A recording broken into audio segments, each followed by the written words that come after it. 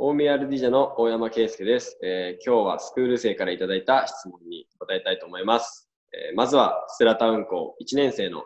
早川光くんからの質問です、えーどうやったらリフティングがうまくできるようになりますか？また、小学生の頃はどのくらい練習をしていましたか？ということで、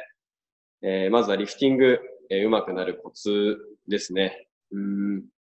まあ、まず、毎回毎回ボールを当たる場所、足に当たる場所を同じように、できるように何回も何回も反復して練習することと、あとは高く上がってしまったボールなんかは、えーももを使って、えーリフティングを続けると、えーボールが安定して、え足の甲よりもちょっと簡単になるので、え比較的続けやすいかなと思います。え小学生の頃は、え1日に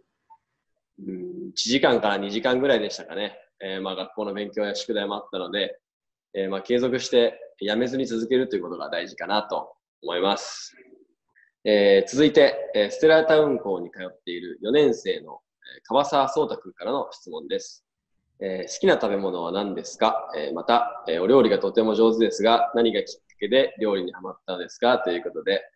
えー好きな食べ物、えー結構いろいろあるんですけど、っぱりお肉系がすごく好きで、特に僕は豚肉がよく好んで食べてます。えー健康にもいいですし、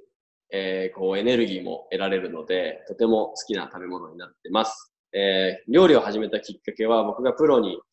えー入団して一人暮らしを始めたので、えー基本的には、えチームから食事が、練習がある日は出てたんですけど、えーそれ以外の休みの日とかは、えー食事がなかったので、えー時々自分で作るようになり始めたのがきっかけです。えー、ひかるくん、そうたくん、質問ありがとうございました。えーなかなか、えー大変な状況が続いているけど、え家でも楽しく過ごせる方法はいっぱいあると思いますので、家族で楽しく、え乗り切ってもらえたらなと思います。ありがとうございました。